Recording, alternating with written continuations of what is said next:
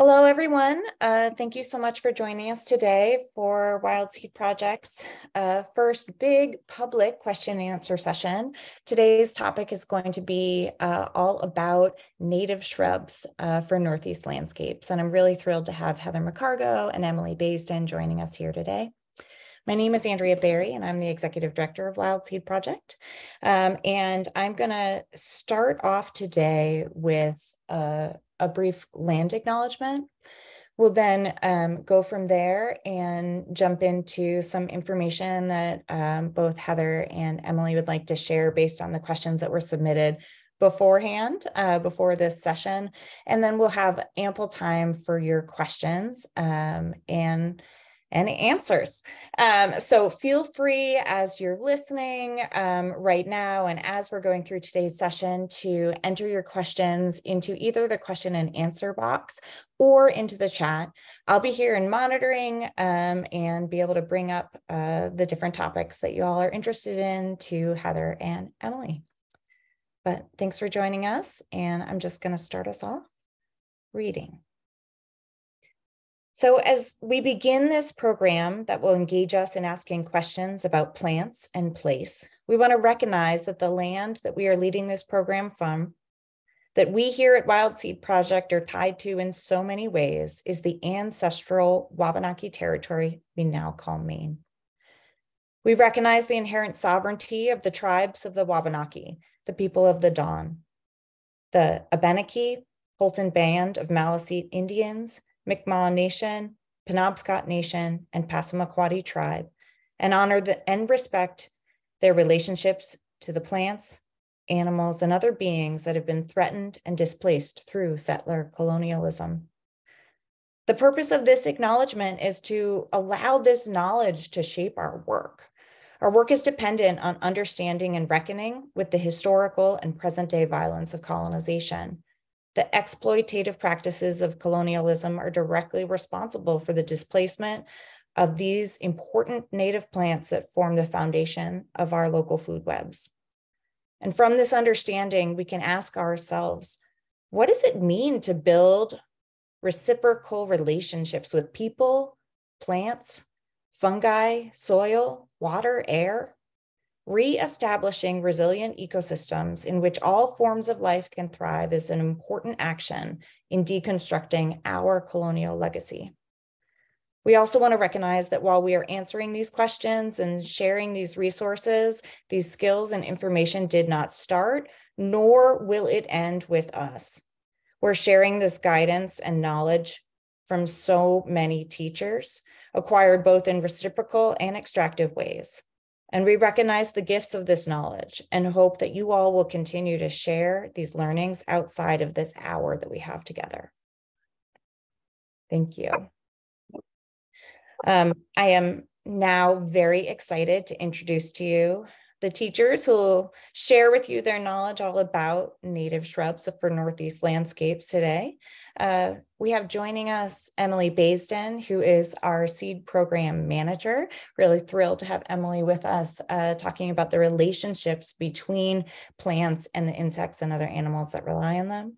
Uh, and Heather McCargo, who is the founder of Wild Seed Project, uh, here to dive into hedgerows and landscaping with native shrubs and all things in between. Uh, so thank you both for joining us today uh, for this exciting hour about shrubs. Um, and just as a reminder to folks that first we're going to go through some of the questions that were sent in ahead of time, uh, and Heather and Emily will will address those. And then we're going to open it up for answers to your questions. Um, so please use either the question and answer box or the chat to share those questions. I'll be able to see them and I'll raise them up for Heather and Emily as we go through. Uh, so, all right, thanks so much. And I'll, I'll let the two of you take it away. Thanks, Andrea. Um, I think we decided I would go first. Um, sounds like we had quite a few questions about uh, how to use shrubs for birds, wildlife, and habitat. Um, so I'm going to share my screen. Hopefully it works. I have a few, few slides just to, oh, we have to enable uh, screen sharing. I can just talk about stuff if the screen sharing is not going to work. there we go. You should be able now. Yeah. It's here. Righty. Everyone see that all right?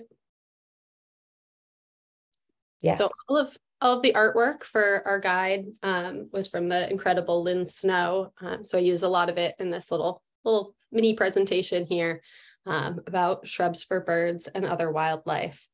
Um, the really big important things for planting when you're thinking about habitat or wildlife supporting um, that shrubs can provide are food, shelter, and nesting areas. Um, and we want to really think seasonally about that up here in Maine and the Northeast. Um, we have some pretty major seasons that go through, and several of our birds are migratory, but others also spend the entire year here. And it's important to think about um, their life cycles and the life cycles of the, the other animals they interact with to effectively plant for wildlife um, and support them in the ways that they really need most. And just like humans, if you know of the Maslow hierarchy of needs, they really need these basic things to be able to go beyond that and thrive um, and expand their, their populations.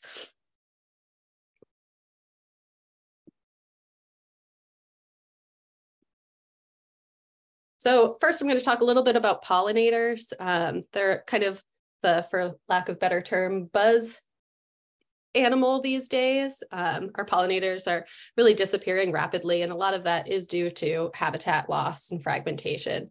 So when you want to plant for pollinators, you want to think about providing nectar sources, and that means um, thinking about a nice diversity, things that are blooming um, throughout all of the growing season. So that means multiple species, species that will bloom early, like early azaleas, um, and species that will bloom later, like witch hazels, um, but also thinking about things in terms of flower shape. So different insects have different mouth parts. Um, some of them are long and tubular, like these butterfly, uh, these moths or the hummingbird clearwing moths. Um, and there's a lot of long-tongued bees that like um, certain shaped flowers. So it's important to do a nice mix of flower shapes as well as flowering times for um, to support those pollinators. Um, and it's not just nectar; they also require pollen. Pollen is super high in protein, so it's it's necessary for um, reproducing insects. Bees especially feed their young pollen. Um, pollen actually has more protein than uh, beef, so it, it's really a huge source of protein for these uh, insects, and it's super important. And just like with nectar sources, having different shapes of flowers and understanding how those pollinator um, interactions work with the plants is really important for uh, getting different types of species involved. So things like bumblebees on this blueberry plant, um, bumblebees do what's called buzz pollination. So they're able to hold on to cup-shaped flowers like that and shake them to get that pollen out onto their bodies. Um, not a lot of other bees do that. Honeybees certainly don't do that. So it allows them to pollinate really specific flowers that have evolved to only use buzz pollination as their pollination technique. So that plant won't be able to reproduce without an insect that can do that buzz pollination. So thinking about that sort of thing is really important when you're thinking about um, what plants you're going to source and having a nice mix of open pollinated plants. So that's like umbels type plants like elderberries and things like that, that really any pollinator can sit on top of and get access to that nectar. And then also these tubular or bell-shaped flowers for the more specialist insects. So the other thing I talked about earlier was providing nesting habitat and shrubs do a really good job of also providing nesting habitat. Um, here, I believe that's a mountain maple. Um, providing nesting habitat for this red-eyed vireo. Red-eyed vireos like to nest in little crooks of trees in the high, higher canopy. Um, so it's important to think about the, the height of your trees. Some, some birds like to nest up high, some birds like to nest low in scrubs. Um, and it's important to look up what type of habitat they need um, for what you're going to support. Um, but shrubs and trees are really what's providing a lot of that nesting area. And a lot of birds really do locate uh, native plants rather than non-native plants for their nesting habitats.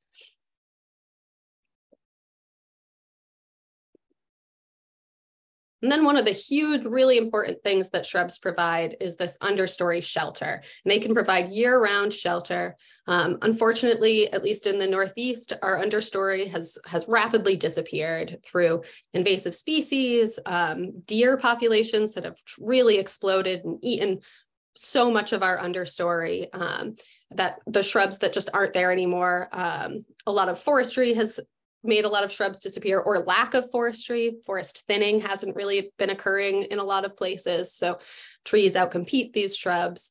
Um, and the shrubs can really provide quite a bit of year-round um, protection. Things like this, what this little brown bat, I believe, is hiding in is the um, rhododendron maxima. It's our native um, rhododendron.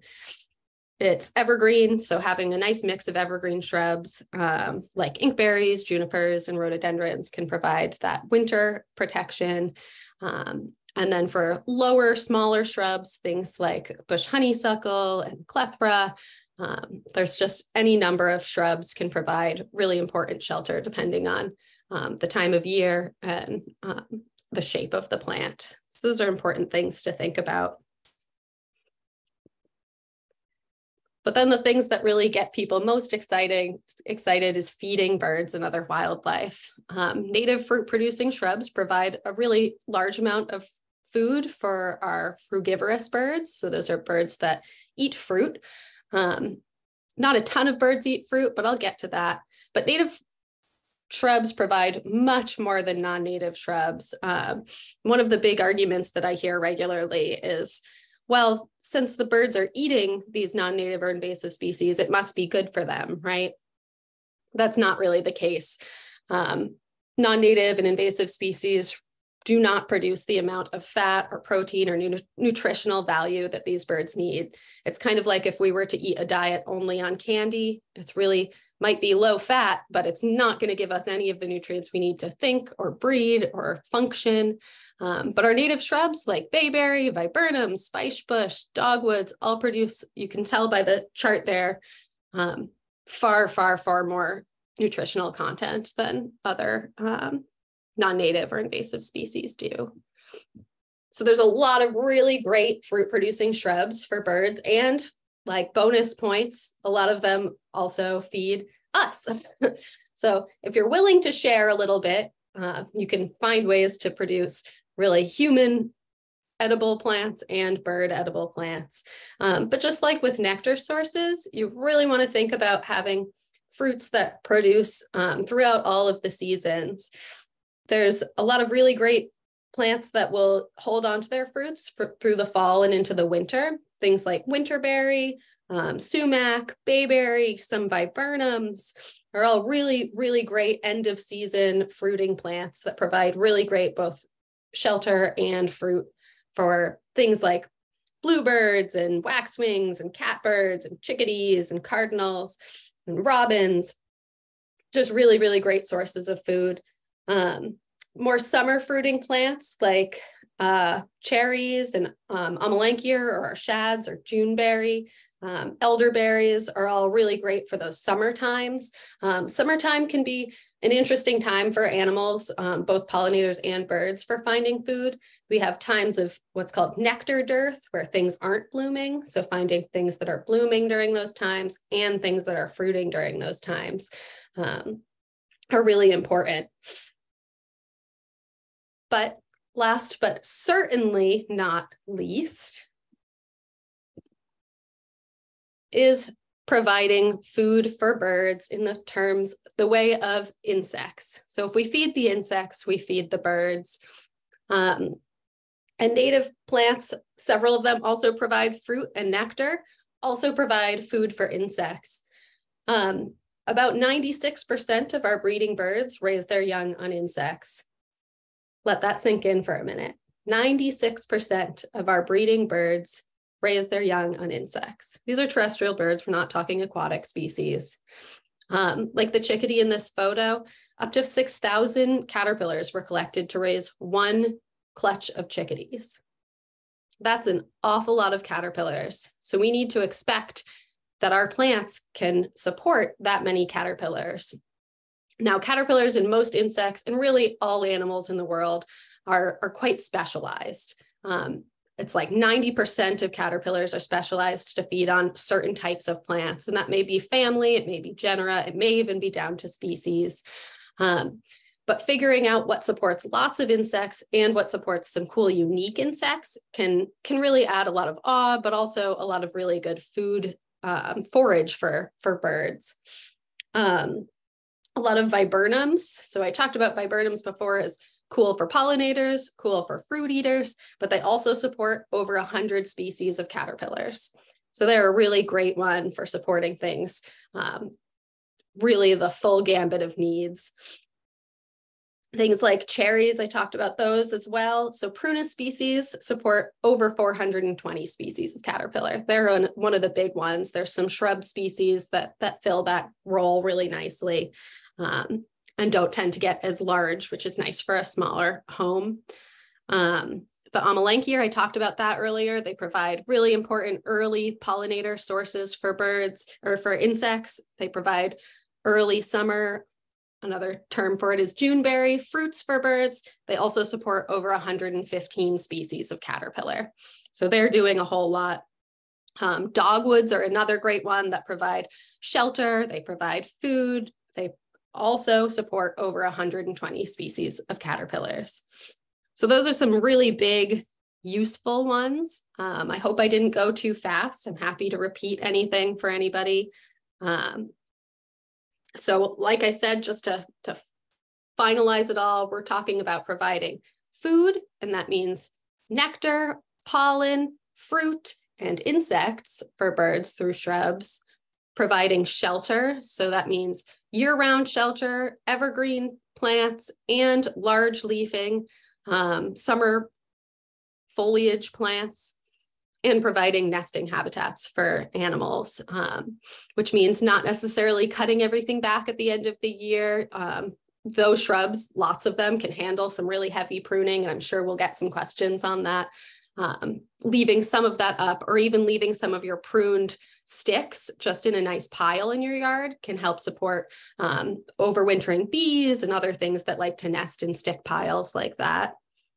Um, so the last thing I just want to talk about if we're trying to support um, wildlife, and I think we can probably put this link in the chat, is the National Wildlife Federation um, has this native plant finder, but it is not just a native plant finder. It's also a butterfly and moth finder. And it's really a fun link that um, you can put in your zip code and put in a genus or something like that of a plant and find all of the insects in your area that feed on that plant, or at least all of the caterpillars and moths that feed on that plant. And I personally have a lot of fun with that link um, because a lot of my planting in my yard is to support or so that I can find really specific um, caterpillars that are host plants. Um, and it's just a fun one to play around with. So I can put that link in in the chat um, and I'll pass it over to Heather. Thank you, Emily. That was great. So I was given the task of explaining how to create or build a hedge or hedgerow. Remembering, you know, most people think of hedges as just being single species. And in some situations, when you have a small space, you know, you, I would still consider that an okay thing to do. But whenever possible, when you can be planting more of a hedgerow, which is multiple species of shrubs, including maybe some trees, um, and then of course herbaceous ground covers. Um, you will be getting supporting that much more biodiversity. And just since I know this, uh, this is a public Q&A, our shrub guide has lots of combinations. And then also our tree guide that we did the first year, three years ago, and then the ground cover guide. Those all have different combinations. And then also in the chat, I believe Andrea put it in already, I've written several very detailed articles on hedges and hedgerows. One is was through the Ecological Landscaping Alliance. And so that was oriented more towards gardening and landscaping. And then the other one was through the Maine Organic Farmers and Gardeners, and that was more oriented to big landowners, you know, such as farmers who are, are going to do a bigger hedgerow, not like a little, you know, some little planting around their house. So though all those tools will give you endless species combinations for different growing conditions from my favorite small shrubs for a more formalish, and I say ish on purpose because not too formal, hedge around a, say, um, patio to, you know, ones that thrive in shade or sunny, dry conditions.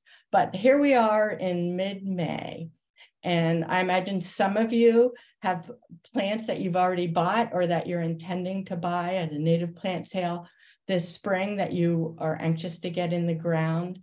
You know, if you did the bare root thing, hopefully those are already in the ground. Um, but I'm imagining that most of you are now, I want to make a hedge or hedgerow on my property. How do I get started? It's mid-May.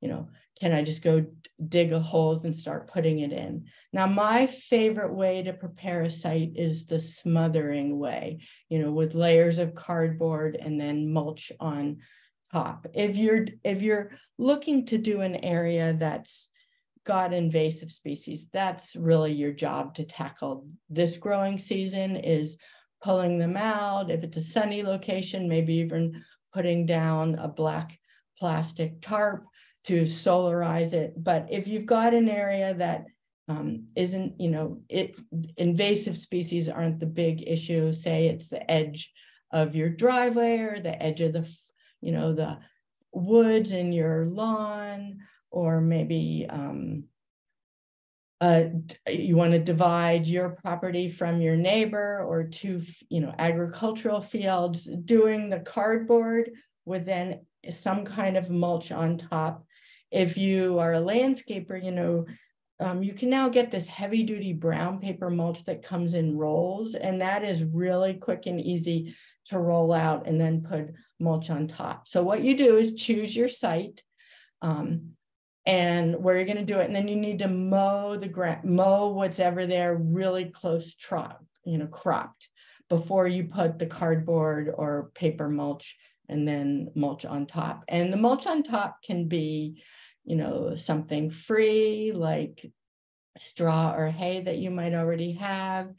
Um, you can buy um, bark mulch, you know, you can use wood chips, but they need a lot more time to degrade before you can plant a lot of things through it. If it's right near your house, you'll probably want to use some bark mulch because it looks nicer, but if it's out in a more wild area, you don't need to do that. You can, you know, use something cheaper. I also, you know, I have a very small lawn, but if I, I um, my lawn grows too well despite never having any fertilizer or extra water. So I often catch the grass clippings and use them as mulch on areas. So I put the cardboard down and then put the grass clippings right on it right after I mow. Don't let it sit in the bag or it will start um, composting. That makes a nice mulch. You just have to do a little bit at a time.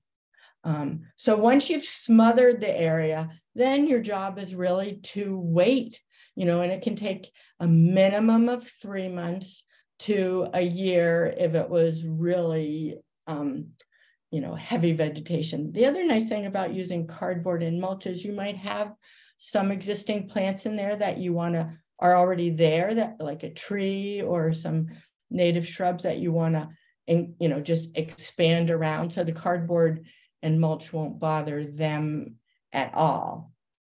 So while you're waiting to smother it, that's when you can start doing your homework of figuring out what are the best species for that site. And it's it, it you always want to start of looking at the list for the conditions you have. So if it's sunny and dry, you're going to pick those species. If it's shady and moderately moist those if it's a wet area you know the, we've got great choices from all of those areas. And again those are all in our different publications and in those two links um, from those two articles on hedges and hedgerows i was telling you about. Um, and the best time to plant it then would be if you if you get it successfully smothered this summer you can do the planting in september early october. Um, you know, perhaps you or Wild Seed Project member say you've sowed a bunch of seeds over the winter and they're starting to germinate now and you will have grown them through the summer. Those can be ready to plant out later in the season. Um, and you know the kind it's nice along with the woody plants it is nice to include some herbaceous species as you know as ground cover and some of my favorites for that are the different um, woodland asters and goldenrod because remember once things grow it will be shady under the shrubs even if it's in sun now. Um, the two different native anemone species are great. Violets make a great ground cover. Um, ferns wild strawberry heal all some of those plants um, that might be too aggressive in your garden this is the perfect environment the way to get them in your landscape. Um, um, and then, so the ideal time is to me is to plant it in the fall, or if you didn't get the plant, you can also order bare root plants and plant them next spring, and the site will be all perfectly prepared. So you'll just be able to pull back the mulch, and the cardboard will probably have broken down and plant right through it next year. It let's say you do have some plants in pots, some, or you go to some plant sales and you get some native shrubs now, you could go ahead and plant them now and still do the mulch and cardboard all around them. Just make sure you remove the existing vegetation, you know, in a wide enough, probably a two foot circle, and then you can do the mulch and cardboard up next to it. Um, if you if you are planting anything this time of year, you know, the single most thing that you need to do with any um, late spring or early summer planting is make sure you water it through the summer if we have droughts. You know, that's when people lose plants, it often is just drought stress. And that doesn't mean watering it every day. This is the beauty of uh, woody plants. It means giving them heavy watering probably once a week, or you can purchase those watering bags and put it around the plants and fill it up with a hose every once in a while. Um, those are very, those work really well. Um, just looking now at some of the other maintenance. So the, the, you know, once you, once you've planted, you will have, you might need to mulch a little bit more around the shrubs that you just planted. Pruning. So people, you know, what kind of pruning do shrubs need or what kind of pruning do trees need? Well, the answer from a nature perspective is none.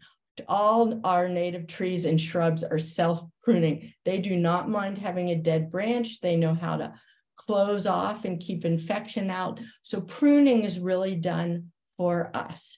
Now, of course, if you're planting your shrubs or your hedge or hedgerow is right, you have a small yard and it's right you know, by where you walk by it all the day, you know, every day, you know, that would be the situation. You know, I I do pruning on my woody plants that are right next to me that I see. But otherwise, you know, farther out, you do not need to remove dead stems. In fact, dead stems are hugely valuable for all Emily's favorite insects.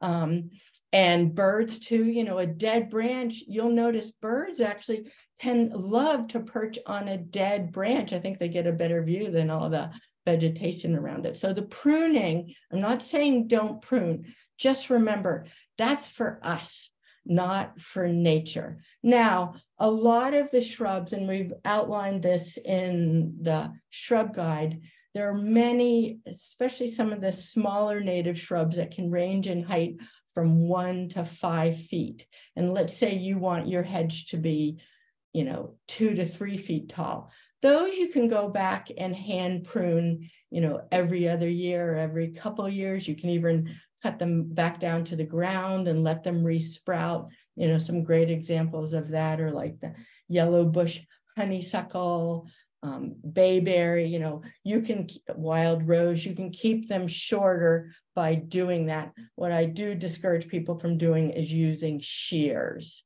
Um, that's brutal to the plants and it doesn't make the kind of um, the way the leaves grow back make it not so enticing to the wildlife to get in there. So take the time to hand prune if you feel like you want to tidy up the look of your um, hedge more.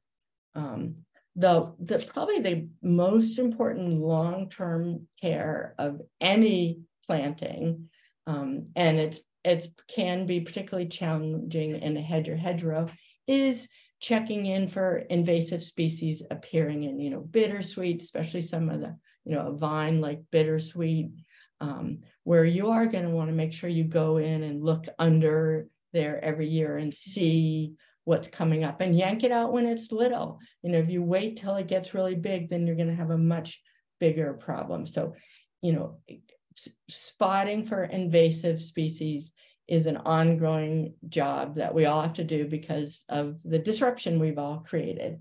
And then the other question that I saw a lot of was about pest and disease. So I'm an ecologist. Pest is a, not an ecologist word. Um, and, you know, it's, it's a reflection of agriculture and domestication where we've moved plants and animals around the world. So we do have you know, insects and disease that have, you know, that are, are not in co-evolved with our vegetation. And, you know, for, for them, you do have to keep your eye out for them. So let's take an example of our native viburnums and the viburnum beetle, which has moved around, you know, I've been doing this kind of work for, you know, 40 something years and all the different viburnums at different times have had um, been attacked by the exotic viburnum beetle. And you know what? I have left every single one of mine that has been completely defoliated and looked dead, and they have all come back. Sometimes they look fine the sec the next year. Sometimes it takes multiple years, but don't yank the shrub out. If you really hate how it looks, you could cut the shrub back down to the ground, but you don't even need to do that. It will, you know, when it leaves out the next year, often it has higher, puts higher, you know, of some sort of chemical in the leaf that they a beetle doesn't like. Um, so if you really can't stand the look of a dead shrub standing there by your door, you could cut it back down the ground and let it resprout. But all the uh, I've had, I've done this for years and none of mine have been killed by it. They might look dead that summer, but they're not um, disease. Somebody asked the question about, you know, specifically the dogwood blight. And I think there's so that we've got two different species of dogwood. There's the pagoda dogwood, which is very abundant in Maine. That is not a drought tolerant species. And so it's also a short lived species. So sometimes it gets that yellow um, fungus and sometimes the whole tree will die. And I, it usually is after a drought. So if you have, you know, that's the situation where if it is a dry summer, you might you know, get just dribbling the hose on some of those plants to strengthen them and if you notice the dead twigs, um, it's usually in late winter that you start to notice it, go and prune them out. You know, I've had ones that just had some of it on it and I just prune it out and they've done fine, but it's not a drought tolerant um, um, small shrub, small tree. And then the large bract dogwood, that one, you know, even though it's a woodland understory tree, it's important to just give it um, at least you know a, a, couple of hours of sunlight. Um, and i'm you know i'm on a campaign to bring back the large flowering dogwood. It's an excellent species for wildlife and it's incredibly beautiful and you just have to site them carefully um, deer resistant that's another really tough one because we all need to get political about you know our you know how our you know state you know manages deer populations.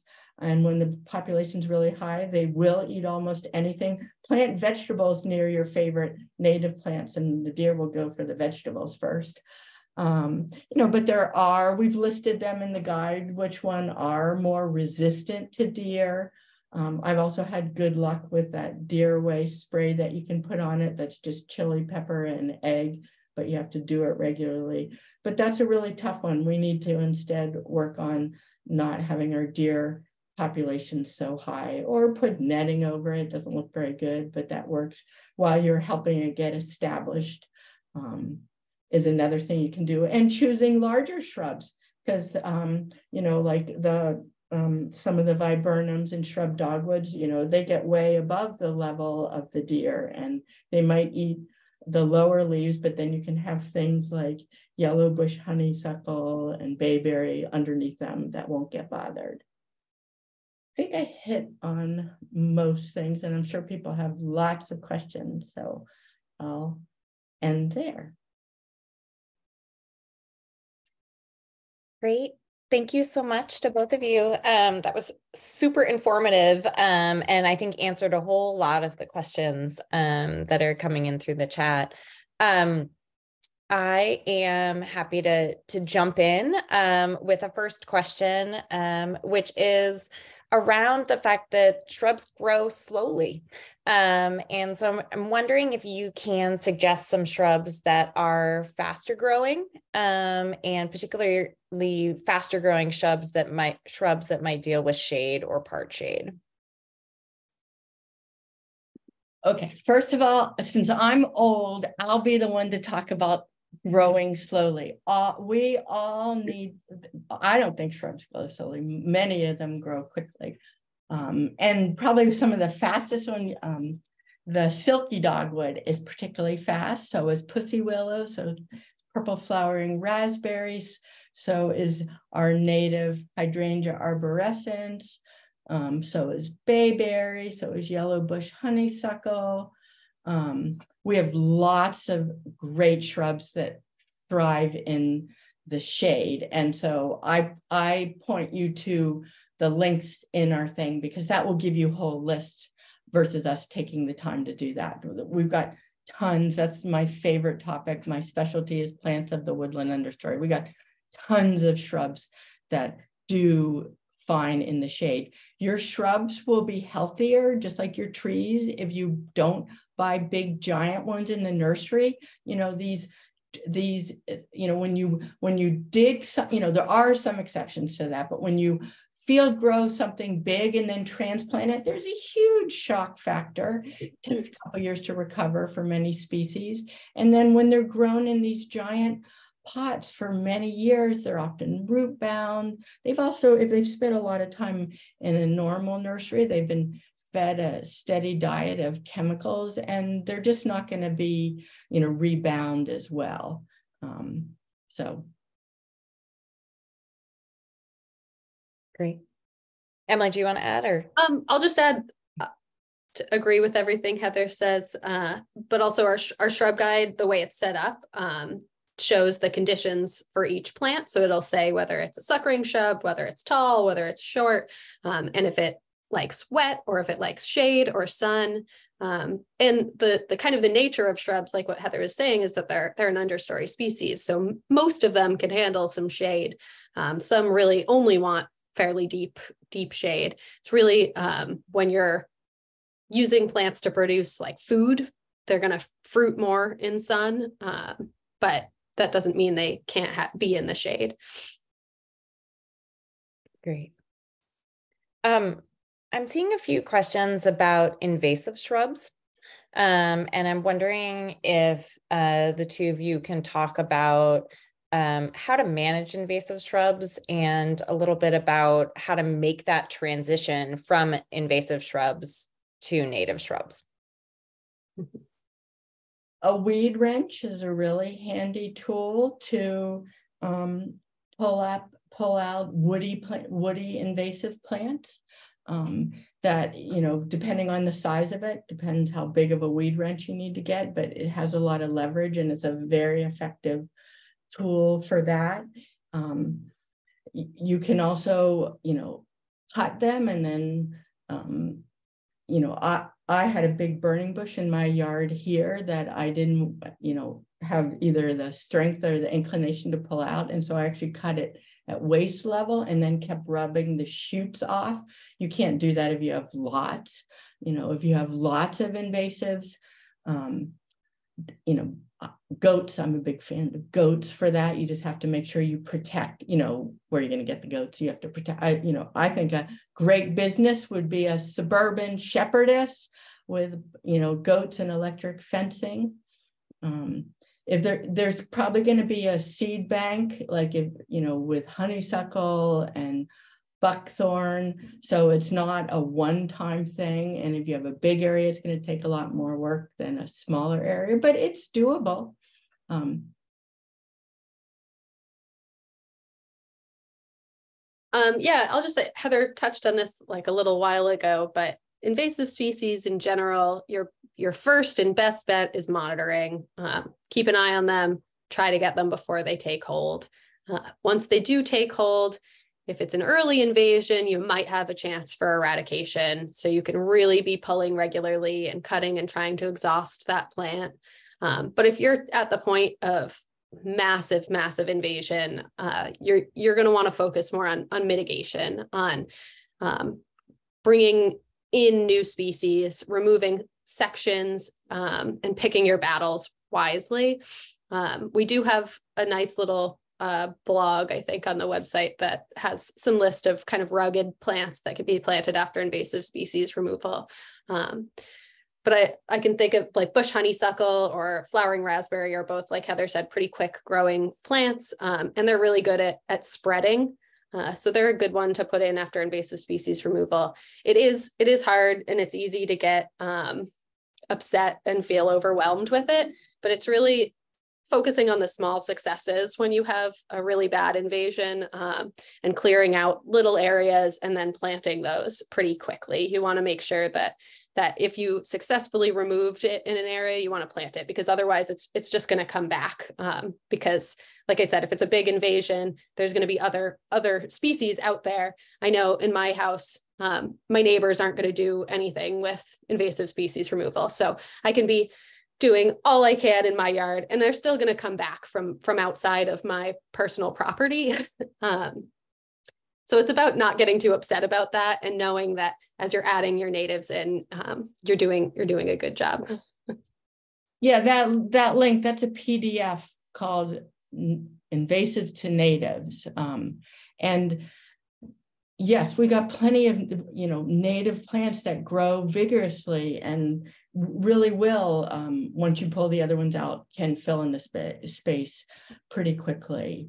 And you know, as more and more of us add more native plants back into the landscape, the birds will be eating them and they'll be seeding in. It's that you know all these invasive species were widely promoted and planted on roadsides and in the nursery industry and you know we get our native species back in there with those fruits and seeding around it, it, will turn the tide. And there are plenty of examples where people have successfully done it. It's harder if you're old because you you know the physical part. I've specialized in my yard here on you know tricks for older people on how to do it. So if you have a huge landowner, you're going to have to, you know, engage some strong youth or goats um, it's a job when you're.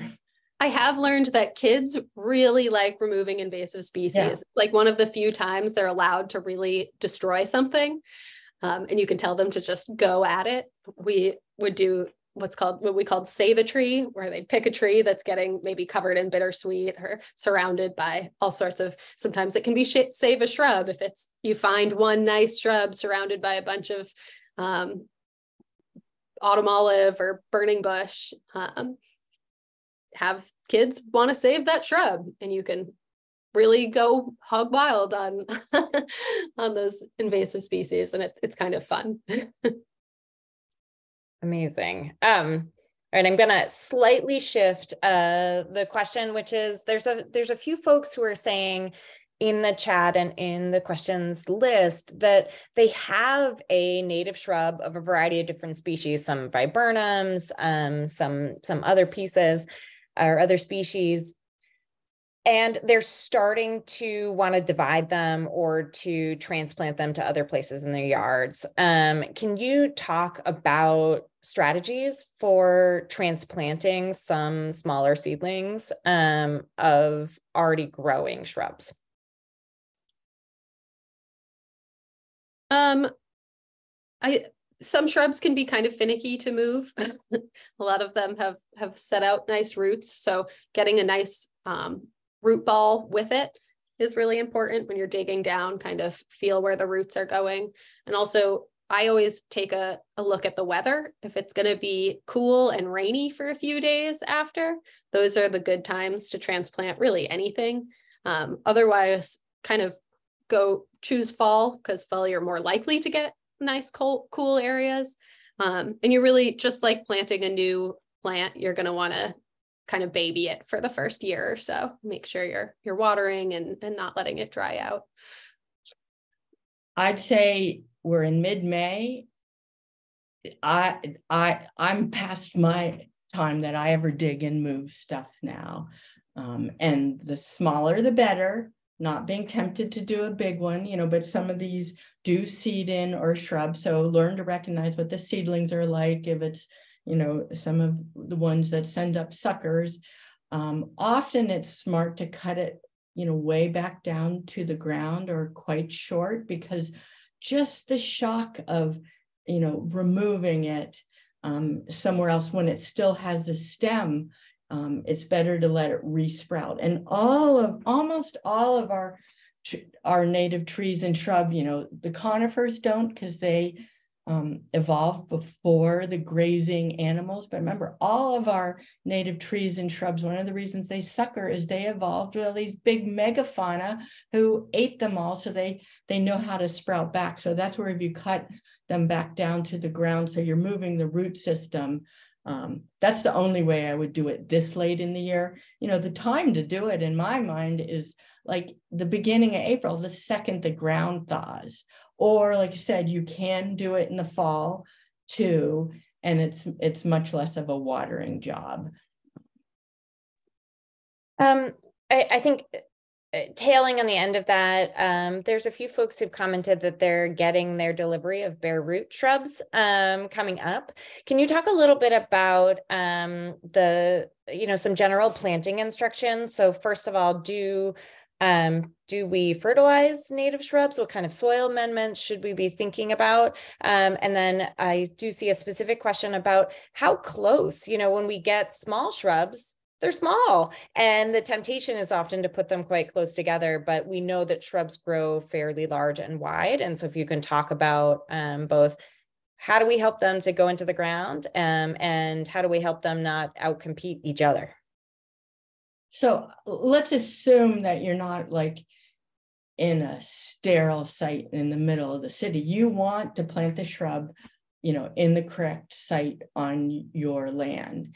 And uh, no, don't fertilize, don't add compost in the hole.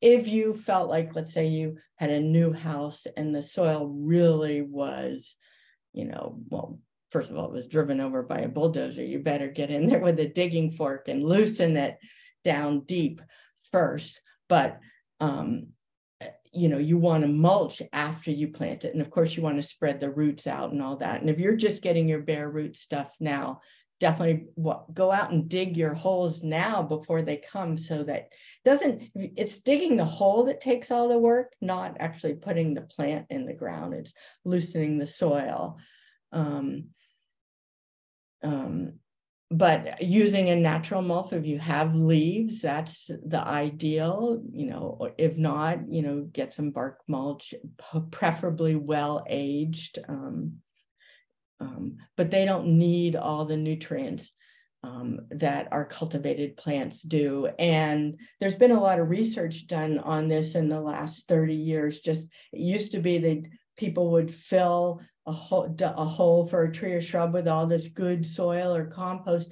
And then they've learned that the, the roots never bother to go out. You can't plant something too close together. It, it will end up weaving with other, you know, eventually as it grows with the other plants, but a thicket is ideal for wildlife. So you know, if you know, you know, hopefully if you ordered those plants and you know what they're going to look like when they're a little bigger, that can help you judge how cl- close together. But if you overplant it, that's okay. Let it weave together, or maybe you'll end up culling a few things out later. But I find that something people get so worried about. And the, you know, in nature, what happens is things will seed in very densely. And then 200 years from now, will all those same plants be there? No, they will have, you know, worked their way out. So um, obviously you don't want to waste your money, but it's not wasting. You do it closer together, you'll get more habitat for all those critters sooner if you plant things close together. And then, but like I said, maybe you'll someday choose to thin some out.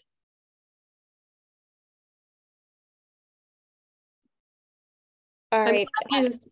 I'll just say real quick. I'm glad you you mentioned the um, when you dig the hole, not adding a bunch of compost because they they have really found that the plant just ends up girdling itself. It just keeps wrapping its roots around the hole um, and it doesn't want to go into that soil. So making sure when you're digging your hole, you're saving some of your soil to put it back in. Um, bare root plants, if you think about how how they're grown, they're grown in the ground and then they tear them out of the ground and wash all the soil off. Um, so they're a little bit stressed. Um, they're all chopped back. Um, so what I do is I got my Fedco order a few weeks ago. Um, and yeah, I, I, dig all my holes, I save my soil, and I do um, a nice layer of leaf mulch. Sometimes because I'm trying to get rid of some some lawn from my house, um, I'll add uh, cardboard around the grass first and add the leaf mulch on top of that. Um, and I find it helps a little bit. Um, also retain some some moisture for those plants. Um, also, if you're ordering from Fedco, they come with really great instructions for what to do. All right. Um, I would love for y'all to talk a little bit about edible shrubs. So shrubs that have berries, shrubs that are fruiting, um, and and in particular, kind of then what do we do or how do we take um, shrubs that are using berries to disperse their seeds and prepare them for growing? So why don't Emily, you want to talk first about the the food portion of shrubs. And then Heather, if you could talk about how we process um, berries to get to the seeds. Sure. Uh, yeah, there's there's a whole bunch of shrubs that produce edible fruits. Um, some tastier than others. uh, we all know about blueberries. Blueberries are a good one. And, and I, I mentioned this earlier. If, if you're growing them for food, a little bit more sun always provides more fruit. Um, but it also often means a slightly more stressed plant. A lot of plants will flower more and fruit more in a stressed condition because they need to reproduce. They're worried they might die. Um, there's also a lot of cultivars out there. Um, I imagine we'll probably get to the cultivar conversation at some point. So I'll just start it now. Um, that are, are they've been selected for larger fruits um, and more fruit yield, but we're starting to realize that hit sometimes at the cost of flavor. I know at least with strawberries, it's clearly become a cost of flavor. Um, and just anecdotally, I think blueberries as well. I've got some cultivars of blueberries in my yard and then also some wild ones, and the wild ones taste far better, even though they produce less. Um, so that's really something to think about too when you're you're sourcing your plants. Um, but there's a lot of really cool plants that produce both food for animals and us. So blueberries, sumacs have some cool edible, uh, you wouldn't eat the seed part, but the little fuzzies make really great lemonade um, and they're a high source of vitamin C. Um, there's the high bush cranberries are pretty tasty. Um, the wild raisins are pretty tasty. Amelanchier, I mentioned them before, the Juneberry. They're actually pretty good. Some people are like iffy about them, but I like them and I think they're they're nice because they happen before the blueberries. Um, it's nice to have something something fresh earlier on. Um, and then of course there's elderberries and elderberries you can make hedges with really easily. They'll spread quite nicely through suckering. Um, and they they're they're a really tasty one for jams and stuff like that. But it's really getting to know your flavors and whether or not there's something that you would need to add a bunch of sugar with to taste good, or like aronia. aronia is really easy to plant, really easy to grow. Um, birds love it. I keep hoping that I'll love it. and it it really kind of dries your mouth out. So without without some sugar, it kind of loses its uh, luster. so you mean for propagating, Andrea? So some of the first native um, fruits to ripen are ones that have to be sown immediately. So the red elderberry, which is not the edible one for people, it's edible for birds, but it's I think it's even considered poisonous for people. Those those and the um, little Lonicera canadensis, the fly honeysuckle, those are some of the first two shrub fruits and Amelanchier that ripen. And you know, all these, well, some of them you can, well, the Lonicera is not edible. What I do is put them in as um, in a bag and mush them, smush them. You have to pretend you're a bird's stomach, basically. You know, these are all designed to go through the digestive tract, digestive tract of a bird or mammal. And so you need to often ferment them for a week or so, and then you can rinse them, you know, either in a, you know, cup of water and then sow the seeds immediately. Don't let them dry out. The other great edible that everybody should have in their yard is the American hazelnut. And those, when they ripen in August, you know they're ripe because within 30 seconds, the chipmunks and squirrels have determined that and will get them all. So you really got to be prepared to get them quickly and remove them from their husk. And um, I, tend to put them in, either in a Ziploc bag or a jar and wait and put them in the refrigerator and then wait and sow them later in the fall once I have a rodent proof container. There, when um, you just can't plant without having a wire cage around them because they'll be found really quickly by the rodents. Um, the different um, native plums, like beach plum, that's a really great one that you can clean it yourself by popping it in your mouth and spitting the seed out. If you cook them up you know, like to make jam, then the seed's going to be no good. You will have killed it by the heat. Um, so, but you can just um, wild grapes the same way too. Just you know, after you eat the fruit, spit the seeds out, but um, and then be prepared to sow them. But typically, with many of the species, not all, that seed, you know, doesn't want to be dry, dry, dry, dry, dry. Um, like um, winterberry holly, all the ilex species, those have to be sown fresh. They will, you'll kill them if they dry out. Same with the viburnums, most of the viburnums and dog, dogwoods. Interestingly, even though the dogwoods are like a favorite bird food, those fruits smell terrible. Um, and they're weird. I guess it's what's so good about them. They're kind of oily. Um, but man, when those are fermenting, they are not a pleasant experience. Um, I'll add I'll add just a couple things. Mm-hmm. So one thing that we found out works pretty well if you're trying to get fruits both to eat or to um, grow for seed um, is using like a paint strainer bag on the end of the plant where the fruit's ripening. Um, and that way you have more access. There's some shrubs that either the fruit ripens and it drops off and it's gone. And then there's shrubs that you're going to be fighting birds and squirrels and stuff for. And it seems like things like a paint strainer bag or a little like knick-knack bag water still has to get through and sun still has to get through. Um, if you tie it to those little ripening fruits you can kind of rescue some of some of them. They, they sell things that are specifically for that and like the grape industry um, probably a little more expensive than buying something online. Um, yeah. Great Thank you both so much. Um, so for those of you, there are so many questions that you've sent in, um, and I really appreciate that um, for for all of you. What we'll be doing is um, we won't lose these questions, and as we um, go through the season, we will try and make sure we collate them uh, and provide you all with answers. They're great reminders for how we can support the information that we've got in the shrub guide to begin with. Um, before I uh, just go to a brief close, I want to um, end with the two of you asking my quick question, which is what is your native shrub crush right now? Which is your favorite thing that you're excited to put in the ground? I really love New Jersey tea. I think that's the Ceanothus americanus. That's a not very well known drought tolerant. It's small and neat. You know, it makes a nice little mound.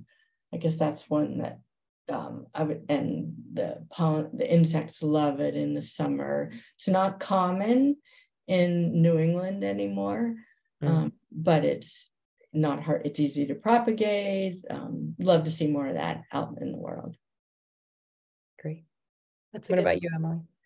Oh, it's always hard to choose. I usually say mountain laurel. It's always just been one of my my favorites. It's got really cool um, pollination technique. If you if you get to the chance to watch it while it's flowering and watch how the bees pollinate it, it's it's really unique uh, and neat. They've got these little cup shaped flowers. The anthers sit along the bases of them, held down, so that when the the bees they have to be heavy enough land on that flower the anthers pop up and wrap around the back of the bee and the bee has to push off up through those anthers and it gets the pollen all over the back of the, the furry little bees and it's just really neat to watch them go um, but I'll add one more is spice bush just because I just planted it in my yard. It came with my Fedco order.